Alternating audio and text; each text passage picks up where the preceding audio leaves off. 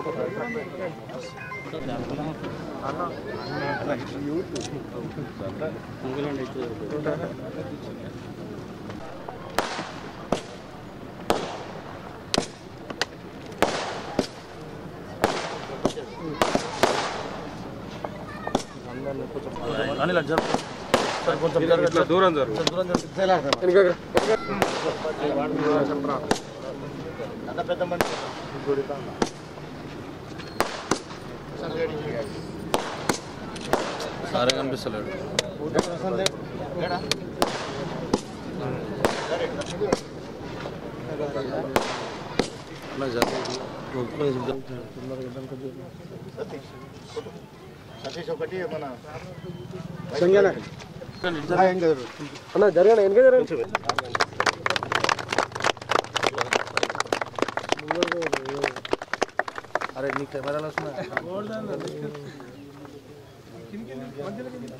వీలైతే తీసి మళ్ళీ గోడ పెట్టండి ఎందుకంటే మళ్ళీ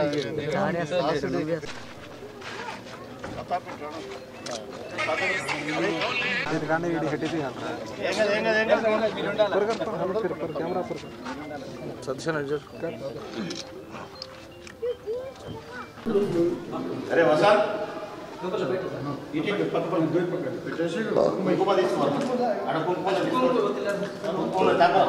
నువ్వు ఇట్లా నామం కట్ట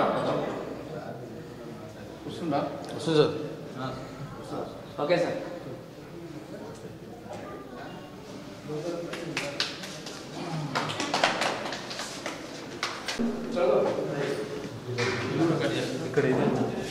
జ్యోతి పట్రా అరే రూమే కదా చూడే చూడే ముప్పన్న ఓకే అమ్మ కట్ మర్చిపోడి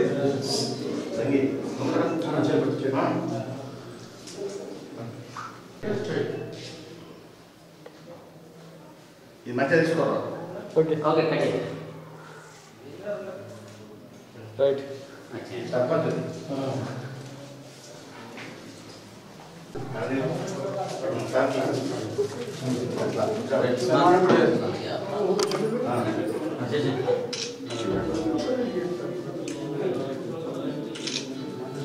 మీరిద్దరు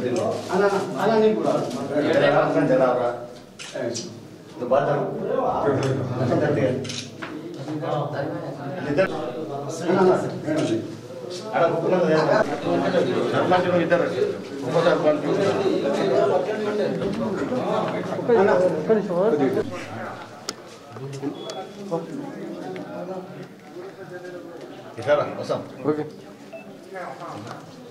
అరే అన్నకి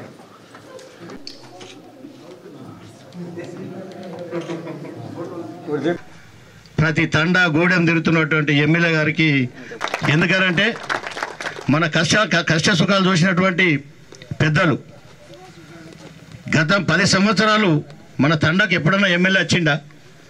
కానీ లేదు మా ముదక్పల్లి గ్రామానికన్నా వచ్చిండా? ఎక్కడ కూడా రాలే. ఆయన దొరలెక్కడ పోకుంటుండే మనం ఇంటికాడ పోయి కావాలి కాస్తుంటేవి. పొద్దుగాల తొమ్మిది గంటల నుంచి రాత్రి పొద్దుగాల తొమ్మిది గంటల నుంచి రాత్రి పదకొండు గంటల వరకు తీరిక లేకుండా మన ప్రజల గురించి ఆలోచన చేసి ప్రజలకు పనులు చేస్తున్నటువంటి పెద్దలు వెనువెంట ఉంటామని చెప్పేసి మనం అందరం వాగ్దానం చేయాల్సిందిగా కోరుకుంటూ కాలాతీతమైంది. తండ తరపున ఎవరైనా మాట్లాడాలనుకుంటే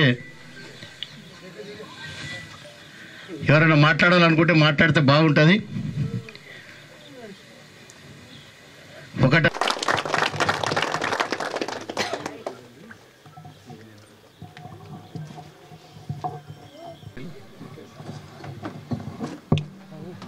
మండలం గుడి తాండాలో నాలుగేళ్ళకి అక్కడ మన ఈ వాటర్ వదలాలని చెప్పి మన ఏది నిజాం సాగర్ మన గుత్ప అలీసాగర్ది అలీసాగర్ కెనాల్ది.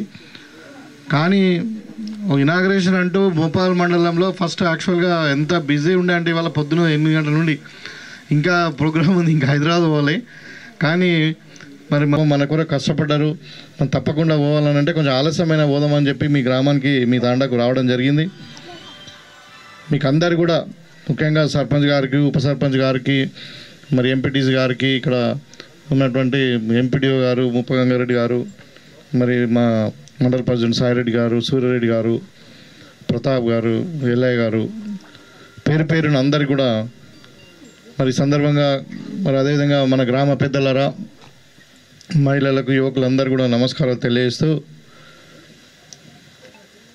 మీకు అంటే శుభాభివందనాలు ఇవాళ మనం కొత్త గ్రామ పంచాయతీలో అడుగుపెట్టాం మరి ఈ గ్రామ పంచాయతీ నుండి ఈ గ్రామ పంచాయతీ నుండి మరి గ్రామం యొక్క అభివృద్ధి ఇంకా ముందు కాలంలో మరి అన్ని రంగాలలో ఈ గ్రామం అభివృద్ధి చెందాలని ఈ గ్రామ పంచాయతీ. మరి మీకు అందరు కూడా తెలుసు. కాంగ్రెస్ పార్టీ నేను ఇప్పుడు ఎన్నికలప్పుడు కూడా ఇక్కడికి వచ్చిన తాండక్. వచ్చినప్పుడు ఆరు గ్యారంటీ పథకాల గురించి చెప్పినాం ఇది సోనియా గాంధీ గారి మాట. మరి ఖచ్చితంగా టీఆర్ఎస్ వాళ్ళంటే ఎన్నో చెప్పిండ్రు పదేళ్ళలో ఏం చేయలేదు. మరి తప్పకుండా కాంగ్రెస్ పార్టీ చేస్తుంది అన్న నమ్మకంతో మీరందరూ కూడా కాంగ్రెస్ పార్టీకి ఓటేసి పట్టం కట్టి మనం గెలిపించడం జరిగింది. ఇవాళ అనుకున్నట్టే మరి మన ప్రియతమ నాయకుడు ముఖ్యమంత్రి అయ్యాడు ఇక్కడ నేను ఎమ్మెల్యే అయినాను. మరి ఇవాళ మీరు చూస్తూ ఉన్నారు ఆల్రెడీ ఓ రెండు గ్యారంటీ పథకాలు అమలు అవుతూ ఉన్నాయి. మిగతా గ్యారంటీ పథకాలు అమలు కావడానికి కూడా మనం అభయాస్తం పేరు మీద ప్రజాపాలన పేరు మీద మరి మీ గ్రామస్తులకే వచ్చి అందరూ అప్లికేషన్ కూడా తీసుకోవడం జరిగింది. పది సంవత్సరాలు ఒక తెల్ల రేషన్ కార్డు ఇవ్వలేని పరిస్థితులు గత ప్రభుత్వం ఉండే. ఇప్పుడే గంగన్న గారు చెప్తుండ్రు ఎమ్మెల్యే ఒకసారి కూడా ఇక్కడికి రాలేదని. నేను గెలిచి రెండు నెలలు అయిందని కానీ యాభై రెండు రోజులే అయింది. ఇంకా ప్రభుత్వం ఇంకా అంటే నేను ప్రమాణ స్వీకారం చేసి కరెక్ట్ యాభై రెండు రోజులే అయింది. సో ఇప్పటికే దగ్గర దగ్గర సగం కాన్షియస్ తిరిగినాం. ఎందుకంటే ప్రజలకు అందుబాటులో ఉండాలి ప్రజలకు సేవ చేయాలి ప్రజలలో మంచి పేరు తెచ్చుకోవాలి మరి పేదవాళ్ళకు ఉపయోగపడాలని ఒక తపన ఉండాలి. సో మీరు కాంగ్రెస్ పార్టీని నమ్మిండ్రు తప్పకుండా రాబోయే కాలంలో ఈ గ్రామం ఈ గ్రామ పంచాయతీ ఖచ్చితంగా అన్ని రంగ అన్ని రకాలలో మేము మిమ్మల్ని ఆదుకుంటాం. ఇవాళ మేము చెప్పిన చిన్న చిన్న సమస్యలే ఉన్నారు ఆ చిన్న చిన్న సమస్యలకు ఏం ప్రాబ్లం లేదు. పోటీ భూముల సమస్య అయితే ఏంది? ఇల్లు లేని వాళ్ళు ఇందిరమ్మ ఇండ్లు ఇస్తాం. మరి పట్టాలు లేని వాళ్ళకు భూములు ఇస్తాం. ఏదైనా ఏది ఉన్నా కానీ సమస్య మరి ఖచ్చితంగా మీకు అన్ని కూడా అన్ని విధాలుగా నేను అండగా ఉంటానని చెప్పి కోరుకుంటూ ఇవాళ మా ప్రతాప్ గారు గుర్తు చేస్తూ ఉన్నారు. అసలు తాండాలలో ఏమైనా జరిగిందంటే ఓన్లీ కాంగ్రెస్ పార్టీ హయాంలోనే జరిగింది. రిజర్వేషన్ అయినా కానీ మరి భూములు వంచినా కానీ ఇండ్లు ఇచ్చినా కానీ ఏదైనా మన పిల్లలు చదువుకుని ఒక ఉద్యోగంలో ఉన్నారు ఈ రోజులలో అంటే మరి కాంగ్రెస్ పార్టీ ఇచ్చినట్టు రిజర్వేషన్ మన తెలంగాణ ఉద్యమంలో మేము కూడా చెప్పినాం. ఏమని చెప్పినామంటే తెలంగాణ విడిపోయిన తర్వాత గిరిజనులు పన్నెండు శాతం ఉంటారు. గిరిజనులు మన తెలంగాణలో పన్నెండు శాతం ఉంటారు. యునైటెడ్ ఆంధ్రప్రదేశ్లో అయితే ఆరు శాతం ఉంటారు. అయితే రాజ్యాంగబద్ధంగా వాళ్ళకి రావాల్సినటువంటి రిజర్వేషన్ పన్నెండు శాతం మేము ఇస్తామని చెప్పినాం ఎప్పుడు మన తెలంగాణ ఉద్యమంలో. పది సంవత్సరాలు అయింది ఆ మధ్యన రెండు సంవత్సరాల కింద ఏదో తొమ్మిది శాతం అది అనౌన్స్ చేసిండ్రు అది ఓన్లీ విద్యా సంస్థలకే పరిమితం చేసిండ్రు అది కూడా ఎంతమందికి వచ్చినా కూడా తెలియదు.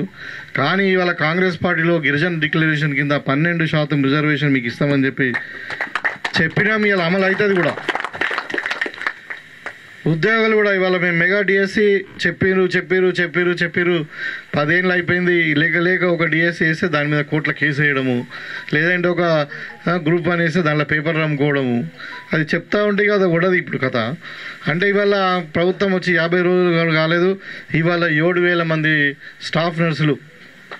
మొత్తం రాష్ట్ర వ్యాప్తంగా మన జిల్లాలోనే నేను పోవాల్సి ఉండే యాక్చువల్లీ యూనివర్సిటీలో ఒక ప్రోగ్రామ్ ఉంది పిల్లలకు సంబంధించింది కాబట్టి దీనికి అది ఇంపార్టెంట్ అని ఆల్రెడీ షెడ్యూల్ ప్రోగ్రామ్ పోలే కానీ నేను ఇవాళ లాల్ బహదూర్ స్టేడియంకు రేవంత్ రెడ్డి గారి ఆధ్వర్యంలో ఏడు వేల మందికి ఏడు వేల తొంభై నాలుగు మంది అంటే ఏడు వేల ఒక వంద మందికి ఇవాళ వాళ్ళకు ప్రొసీడింగ్స్ అంటే ఏమంటారు మన నన్ను అపాయింట్మెంట్ ఆర్డర్స్ ఇవ్వడం జరిగింది. దాంట్లో నేను గర్వంగా చెప్తా ఉన్నా మన నిజామాబాద్ జిల్లా నుండి ముఖ్యంగా మన నిజామాబాద్ రూరల్ నుండి ఎక్కువ మంది ఉన్నారు.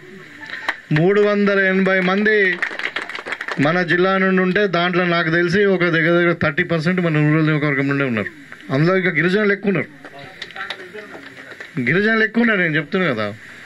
కాబట్టి గిరిజనులకు ఇలా రిజర్వేషన్ రావాలన్నా ఇంకా ముందు ముందు మీ పొలాలు మీ పోడు భూములు మీకు రావాలన్నా మరి మళ్ళీ మనం కలగనటువంటి ఇందిరమ్మ రాజ్యం వచ్చి మనం మనం ఇండ్లు మళ్ళీ ఇందిరమ్మ ఇండ్లు కట్టుకోవాలన్నా లేకుంటే మనకు మళ్ళీ ఉద్యోగాలు రావాలన్నా ఇంకేది కావాలన్నా కానీ కాంగ్రెస్ పార్టీ ద్వారానే సాధ్యమవుతుంది ఖచ్చితంగా గిరిజనులకు అన్ని విధాలుగా అండగా ఉంటుంది కాంగ్రెస్ పార్టీ అని చెప్పి తెలియజేస్తూ మరి ఇంత చక్కటి కార్యక్రమాన్ని తక్కువ టైంలో మరి సర్పంచ్ గారికి గ్రామ పెద్దలందరూ కూడా ఇంత మంచి చక్కని కార్యక్రమాన్ని ఏర్పాటు చేసి మరి మమ్మల్ని ఆహ్వానించి మమ్మల్ని సన్మానించి ఇవన్నీ చేసినందుకు మీ అందరూ కూడా ప్రత్యేకమైన ధన్యవాదాలు తెలియజేసుకుంటూ మీ దగ్గర సెలవు తీసుకుంటా ఉన్నాను. జై కాంగ్రెస్. కారుణ్ణి ఇవాళ ఉన్న దవాఖానా వదిలేసుకున్నా ఇంకా నాకేం పని లేదు ఇక మీ అంటే మీరు మాయంబడి నేను మేము పడబడతాను కానీ మొత్తం మీద అందరం కలిసి గట్టిగా పని చేసుకుందాం మంచిగా మంచిగా మనం అంతా ఒక కుటుంబ సభ్యులుగా అని చెప్పి తెలియజేసుకుంటూ అదే ఈ కెనాల్ కూడా లైనింగ్ అంటున్నాడు అది కూడా మేము ప్రపోజల్ ఆల్రెడీ ఇరిగేషన్ అధికారులతో మాట్లాడినాం. కొంచెం వెనక ముందు అవుతుంది. ఈ కరెంట్ విషయం మాత్రం నేను అర్జెంటుగానే వీలైనంత త్వరగా నేను దాన్ని అంటే సాల్వ్ అయ్యేటట్టు చూస్తాను ప్రాబ్లం ఒక సమస్య కాదు. అంటే ఊరు సమస్యలు కాదు వ్యక్తిగత సమస్యలు ఉంటాయి ఒక ఆరోగ్యం బాగుండదు. లేకుంటే ఇంకేదో బాధ ఉంటుంది. కష్ట సుఖాలలో కూడా నేను ఉంటా అని చెప్తున్నాను అంతే మీకు అందరు కూడా ధన్యవాదాలు. థ్యాంక్ యూ ఉప సర్పంచ్.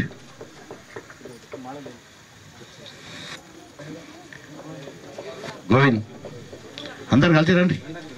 ఫోటోలు తీపించుకుంటారా? తండ ప్రతి తండకు సంబంధించినటువంటి వార్డు మెంబర్సు నాయకులు మేమందరం కలిసికట్టుగా ఉంటామని చెప్పేసి ఎమ్మెల్యే గారిని సన్మానం చేయాల్సిందిగా కోరుకుంటున్నాం. మా ముదక్పల్లి వార్డు మెంబర్ మోహన్ తండ నాయకుడు. తండాల నాయకులందరూ వచ్చి ఎమ్మెల్యే గారితో ఫోటో దిగాల్సిందిగా సన్- తీసుకొని ఫోటోలు తీసుకొని